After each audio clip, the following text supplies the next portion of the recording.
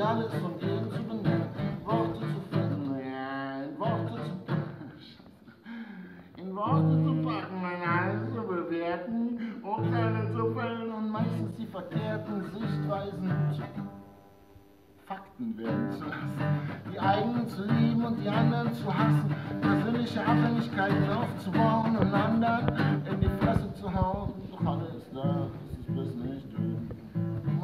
mal deine Augen zu und dann stell dir vor, wer du sein kannst, wenn du nicht ständig anderen hinterher rennst und dann mach die Augen wieder auf, denn direkt vor deiner Nase lebt dein Leben, nimmt dein Leben seinen Lauf.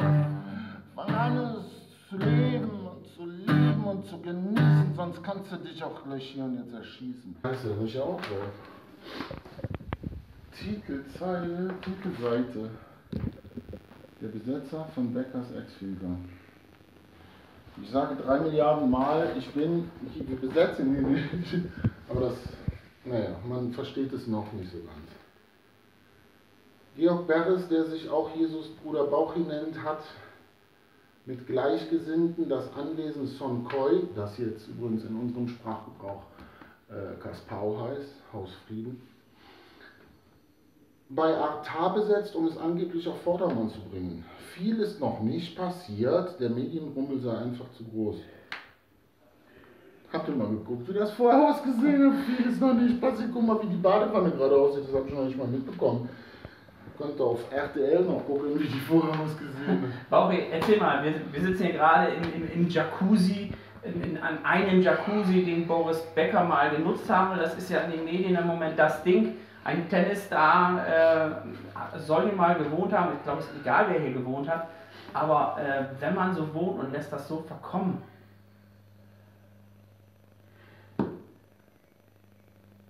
wenn wir die Mietpreise sehen im Moment äh, hier auf der Insel und manch einer kann sich nicht eine Wohnung leisten, wir haben Obdachlose und dann steht sowas leer.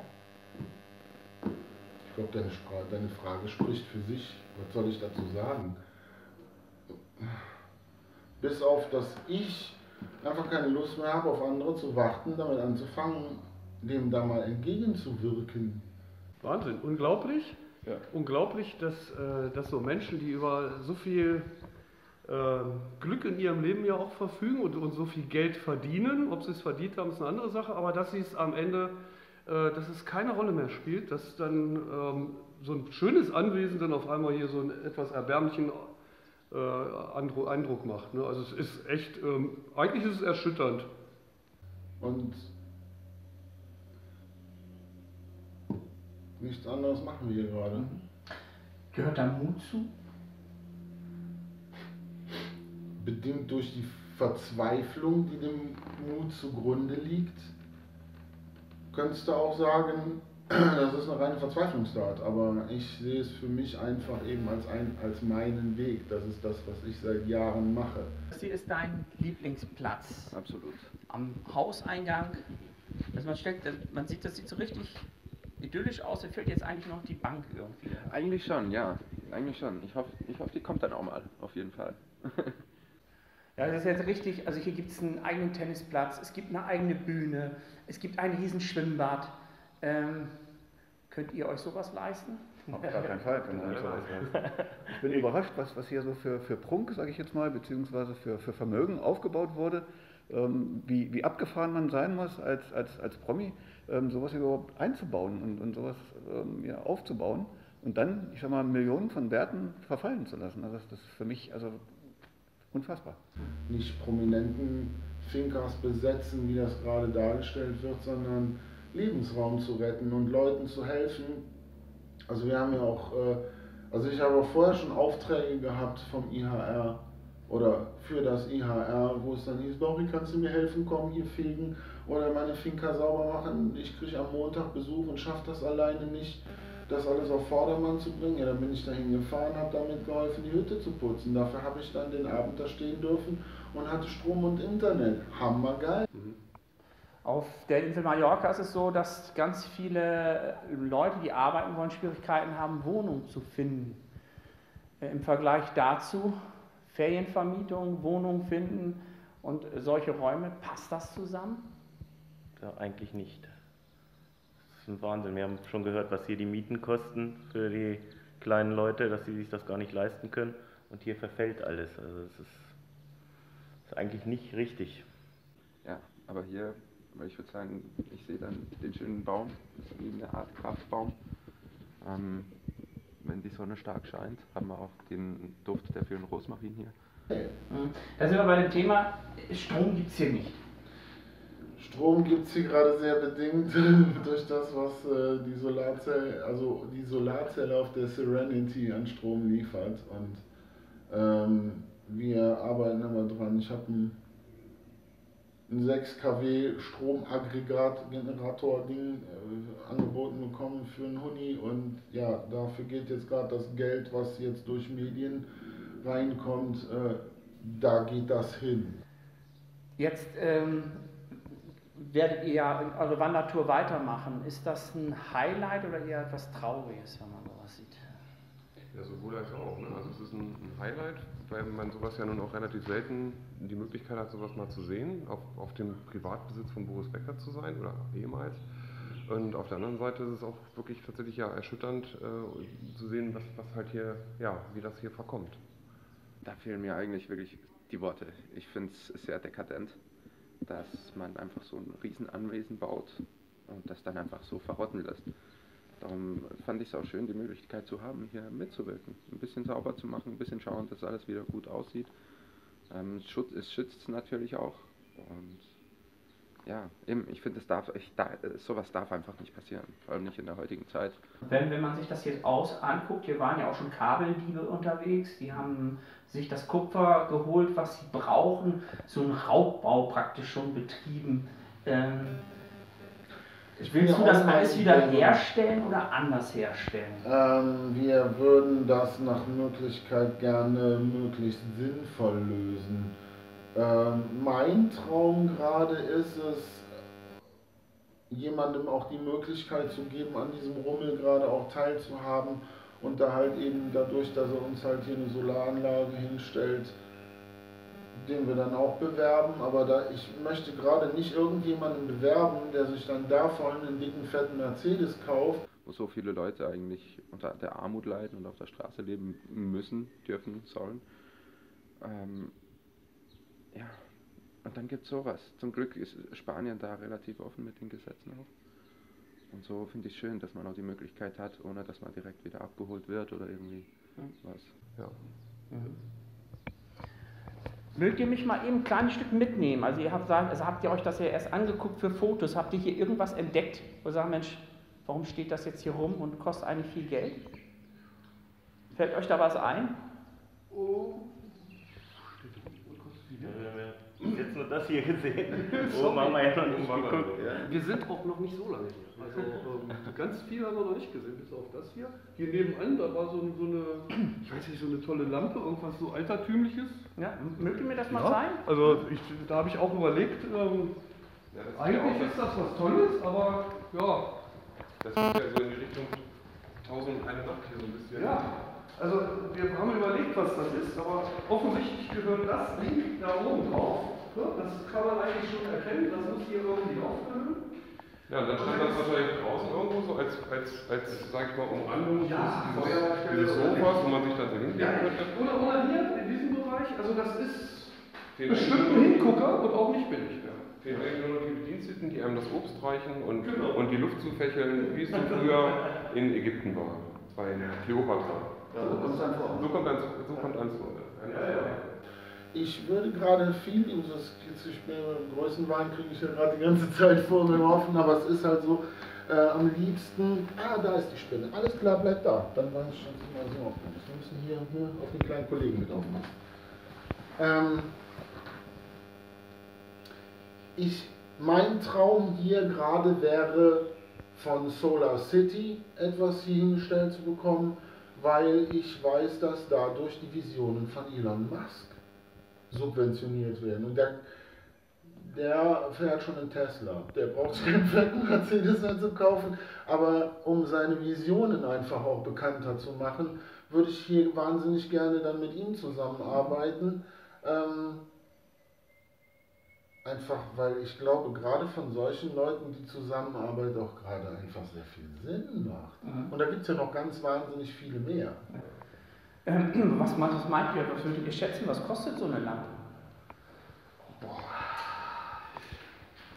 Also ich bin da jetzt auch kein Fachmann, aber das ist auf jeden Fall alles Glas, das ist alles gearbeitet. Also ich sag mal so, wenn das intakt ist und in Ordnung ist, ich glaube nicht, dass man sowas unter 10.000 Euro kriegt. Also würde ich vermuten. Und hier ist es weg. Wenn man, wenn man dann jetzt auf der anderen Seite hört, die Pleite eines Boris Becker und das hätte man zu Geld machen können.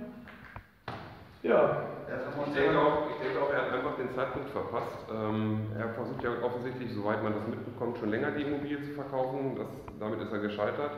Ähm, vielleicht auch aufgrund zu höherer Ansprüche, oder, also geldliche Ansprüche, die er da äh, sich erhofft hat. Ähm, auf einer Seite, irgendwann, ich vermute mal so, dass ihm irgendwann dann die Kohle ausgegangen ist, das Ding hier auch entsprechend zu unterhalten. Und irgendwann hast du dann gerade bei einer Immobilie den Moment verpasst, dann verfällt das Ganze. Nun ist es ja so, dass das in den Medien ja auch immer sehr schnell äh, auseinandergenommen wird. Da gibt es Schlagzeilen, die sagen, also ja, da ist ja sowieso Schimmel drin, das, das ist gar nichts mehr wert, diese Immobilie, äh, weil sie das von irgendjemandem gehört haben. Äh, dann gibt es die nächsten, die sagen, es ist unverschämt, dass man sowas besetzt. Also so gut, die Gesetzgebung ist ja anders. Aber wenn jetzt Leute äh, das schlecht reden, und, um, um das, ich sag mal, zu entschuldigen, was hier passiert ist. Ähm, entschuldigen, ich finde, da, dafür wirst du nie eine Entschuldigung finden, weil es einfach nicht korrekt ist, sowas. Ähm, klar, es gibt Räume, da sieht man das auch ganz, ganz stark, dass es Schimmel an den Wänden hat, vor allem an den Decken. Ähm, ich denke, man müsste das einfach auch prüfen lassen, was da noch machbar und rettbar ist. Einfach nur, weil man es gehört hat, finde ich, ist es schade, sich da ein Urteil zu erlauben. So, wir sind jetzt an einem Ort, das hat äh, in den Zeitungen für Schlagzeilen gesorgt wegen ja, Schimmel. Man sagt, das sei hier gar nicht zu retten, das muss verfallen. Ja, wenn man noch, wenn man jetzt noch ein bisschen gewartet hätte, dann wäre das auch so gewesen. Ne? So fängt das an. Aber wir haben hier das Glück, dass das wirklich hier gerade der Anfang ist. Und das bekommen, hier müssen wir vier Balken austauschen und dann wird das wieder fit gemacht. Da kenne ich, habe ich meine Jungs, die das können. Und ähm, ne, was ich nicht selber kann, das, da kann mir bei geholfen werden. Ne, und dann haben wir hier noch so, ich habe jetzt hier diesen Schlafbereich gerade erstmal schon mal angefangen. Sieht aus wie Sau, kein Problem, aber da sind hier halt zum Beispiel auch diese, da ist einfach die Farbe von der Wand geblättert, so, das mache ich selber sogar nach. Also, da habe ich gar kein Problem? Und ähm, das kostet jetzt auch ein Vermögen, das Ganze wieder herzustellen, in einen Zustand zu bringen, wo man es halt nutzen kann. Bauchi wird das ja jetzt machen. Er hat gesagt, ja, ich, äh, ich lasse das jetzt hier nicht verfallen, wird äh, alles freigemacht raus, es wird gefegt, wird Unkraut wird weggemacht, äh, also es wird wieder zu einem Wohn Wohnraum werden. Was haltet ihr davon? Ist das, ist das für euch ein Spinner oder äh, hat das was Gutes, was er macht? Ja, für die Immobilie hat das was Gutes. Ich denke mal indirekt auch für den jetzigen Eigentümer, dass er, sag ich mal, die Immobilie in einen besseren Zustand zurückbekommt. Er hat ja angedeutet, dass er dann, wenn der Eigentümer sagt, jetzt möchte ich gerne meine Immobilie wieder haben, dass er dann auch freiwillig das Feld räumt. Ähm, dann hat, haben ja, sage ich mal, beide oder alle drei davon äh, partizipiert. Also Borchi selber, dass er hier leben konnte, die Immobilie und der Eigentümer auch. Also insofern, wenn das wirklich so kommt, dass er dann aber auch freiwillig die Immobilie verlässt, ist es in Ordnung. Ähm, eine Besetzung, was man auch schon gehört hat, wo dann die Immobilie praktisch, wo das Gegenteil passiert, wo sie dann mehr oder weniger ruiniert wird, das kann man natürlich nicht gut heißen. Ähm, dann will ich hier einfach ein schönes Schlafzimmer rausmachen und da ein schönes Wohnzimmer rausmachen. Und das so in einem Rahmen, so habe ich mir das gedacht, so ein Monat bis ein Jahr. Also ich habe ja immer noch dieses Ding am Laufen, dass ich Ende Juni aufs Boot ziehe. Ich werde um die Welt reisen noch. Ne? weil es ist hier in dem Sinn nicht eine Hausbesetzung. Ähm, wenn der Besitzer kommt oder wenn wir gebeten werden aus einer ähm, von einer Instanz, die das auch wirklich befähigt ist zu, dann gehen wir ohne Wenn und Aber. Uns ist es einfach wichtig, so lange hier sein zu können, solange dass wir das sauber halten. Auch, ja, weil wir verlangen nichts dafür. Wir sagen einfach, hey, wir nutzen jetzt einfach diesen Lebensraum. Mhm. Ihr habt, kennt das ja jetzt auch nur aus den Medien, kennt Bauche jetzt nicht persönlich. Ähm, es wird, steht ja drin, von Hippie bis äh, alles Mögliche schreibt man da. Äh, das kommt ja jetzt, ist ja ganz groß in den Medien drin. Ähm, verliert man nicht manchmal so ein bisschen aus den Augen, dass man sagt, Mensch, äh, warum? Diese Frage, warum steht das jetzt leer, warum schafft es keiner, diesen Wohnort zu beleben? Ich denke, es wird schwer, einfach ähm, da was Passendes draus zu machen. Die, die Vermögenswerte zu halten, so wie sie jetzt vorher gewesen sind, das wird wahrscheinlich nicht gelingen. Also man muss ja gucken, dass man irgendwas Sinnvolles ähm, daraus machen kann, dass es auch einen entsprechenden Nutzen hat. Und ich denke, das wird die, die, die Problematik dabei sein, dass man eben auch, äh, wenn man diese Wohnungsnot sieht hier auf Mallorca, da auch was draus zu machen, wo man sagt, da können mehrere von partizipieren. Denn einer alleine, da hat man ja wieder so einen Prunkbau. Das muss ja wieder erhalten äh, werden und, ich das macht ja keinen Sinn. Und ich hatte eigentlich gedacht, das ist Juni 2018, aber das wäre immer noch machbar. Ich kann das hier auch in einem Monat einrichten. Und keine Sorge, ich werde nicht IKEA erlauben hier. IKEA wird das hier nicht einrichten. Aber ich bin mir sicher, wir, wir würden das locker in einem Monat schaffen, das hier, Ding hier so, also natürlich schaffen wir das in einem Monat, schaffen wir in einer Woche, wenn es sein muss, ähm, das hier soweit wieder richtig fit zu machen. Ähm, ist halt aber eben auch, ne, wir wollen hier einfach nicht, äh, ich, ich äh, gebe hier gerade nicht jedem, bloß weil ich Kohle dafür kriege, irgendwelche Interviews. Ich will das hier unter Kontrolle behalten, bekommen das Projekt auch. Und deswegen äh, verzichte ich da lieber auf ein bisschen Geld und gucke, dass das, was da jetzt gerade rausgeht, eher exklusiv ist, damit das alles so ein bisschen, klar, damit wir ein bisschen Geld hier an Projektgelder reinbekommen die wir nutzen können, aber halt auch eben zeigen können, dass man für sowas gar nicht unbedingt viel Geld braucht. Das ist das, ja. Entstanden ist der ja mal, weil jemand meinte, ich habe mit so einem Lebensraum verdient. Man kann diesen Prunk ja noch überall sehen hier, der hier war. Äh, der Boris, Boris Becker hat hier mal eine Zeit lang verbracht weil er meint, ich habe mir das verdient. Er musste sich das ja im Sport auch hart erarbeiten, dass er dann so berühmt wurde. Äh, ist das für dich so ein Versagen dann, wenn es dann so weit kommt? Ich habe mich, die Frage habe ich mir jetzt schon ein paar Mal gestellt, vor allem allein schon, wenn man oben steht, äh, aus dem Fenster schaut und das ganze Land eigentlich im Überblick hat und man sich vorstellt, was das wohl für ein Gefühl sein muss, wenn einem es das selber gehören würde, wenn man jetzt das Geld in die Hand genommen hat ich habe mich auch, auch gefragt, was muss in einem vorgehen, dass man so ein Gelände vergisst oder verkommen lässt oder dann je nachdem auch noch abstreitet, dass man es überhaupt besitzt. Ähm äh, ich komme dich zu holen, weil draußen scheint die Sonne. Was eine Wonne, kommst du mit? Aus der Donne, blöde Nonne. Warum mal, warum sitzt du im Kamin zum Singen? Sitze ich im Kamin? Oh mein Gott! Keine Ahnung. Doch, ist ein Kamin. Ich fand das einfach sehr ansprechend hier. Ja. Die Symmetrie des Raums. Ich habe hier, das ist mein Dojo jetzt. Gerade für die Zeit, in der ich mich hier aufhalte und das so als mein Zuhause gerade empfinde. Es ist halt schon eine Spezialimmobilie. Also das ist jetzt nichts, was, was ich jetzt an, an äh, Otto Normalverbraucher verkaufen kann. Da muss ich wirklich jemanden finden, der das Ding hier nicht nur kaufen kann, sondern auch unterhalten kann. Mhm. Naja, da, da kommen auch noch andere Sachen ins Spiel. Die Frage ist ja eigentlich, wem gehört das ganze Ding jetzt hier? Ne? Das hatte ja mal angeblich einen Wert von 15 Millionen und dann waren es nur noch 7,5. Der Remus äh, vermarktet es im Moment für 7,5 Millionen. Der Preis ist mittlerweile aus dem Internet verschwunden. Das ist es, glaube ich, in dem Zustand auch nicht wert. Aber wenn jetzt wirklich jemand kommt, der sagt, ich gehe da mal rein, ja, wie viel will der denn bezahlen und wie viel muss er investieren, um das wieder herzurichten? Dann kann es sein, dass das Ding irgendeiner Bank gehört. Die können es natürlich ganz anders abschreiben. Ne? So eine Bank, die sagt, irgendwann ist nicht zu vermarkten. Und dann hat man vielleicht wirklich eine Chance, hieraus was zu machen, um, angeblich gibt es 1200 Obdachlose in, auf Mallorca, ne? dass man sagt, gut, da wird jetzt was draus. Aber das bedeutet irgendwie eine Stiftung, eine Schenkung, was auch immer. Ne? Und Privatmann wird es nicht einfach mal so irgendjemand zur Verfügung stellen. Die Leute gibt es, glaube ich, nicht.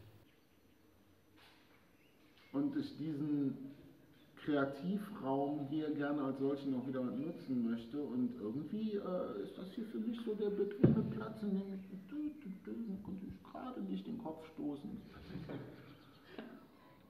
Okay. Kamin. Das, das, Banause. Beheizst du den Raum dann? Wenn es kalt ist im Winter? Können wir uns da im Winter mal drüber unterhalten, weil ich habe keine Ahnung, wie unsere Möglichkeiten bis dahin aussehen. Wer weiß. Komm dann wieder. Ja, wie immer, wenn es gefällt, Daumen nach oben und Abo anklicken oder wie war das? Ja, genau. Wenn euch gefällt, was ihr hier seht, dann teilt es doch einfach. Kommentiert, wenn es euch nicht gefällt, halt die Fresse. Und guckt, guckt euch was anderes an, aber es, es braucht keiner mehr zu wissen, wer was doof findet. Von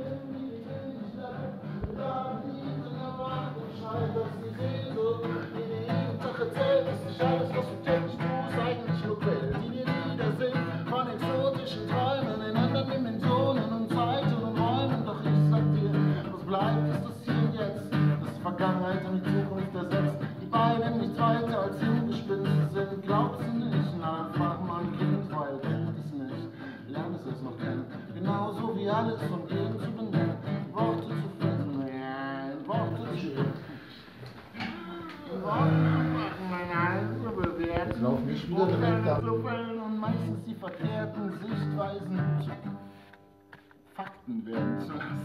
Die eigenen zu lieben und die anderen zu hassen. Persönliche Abhängigkeiten aufzubauen und anderen in die Fresse zu hauen. Doch alles da, es ist bis nicht du. Mach kurz mal deine Augen zu und dann stell dir vor, wer du sein kannst, wenn du nicht ständig anderen hinterher rennst. Und dann mach die Augen wieder auf, denn direkt vor deiner Nase lebt dein Leben, nimmt dein Leben seinen Lauf. Und zu genießen, sonst kannst du dich auch gleich hier mit erschießen. Kommt ein Hippie um die Ecke und dann nimm die Tonne. Nee, warte. Bauch. Kommt, ich, den muss ich noch zu Ende bringen. Äh, komm Hippie um die Ecke, fällt die Mülltonne. Nee, warte mal, lass mich scheiß Mülltonne weg. Komm Hippie um die Ecke, fällt den Abfalleimer. So bin ich auf jeden Fall der bessere Reimer, doch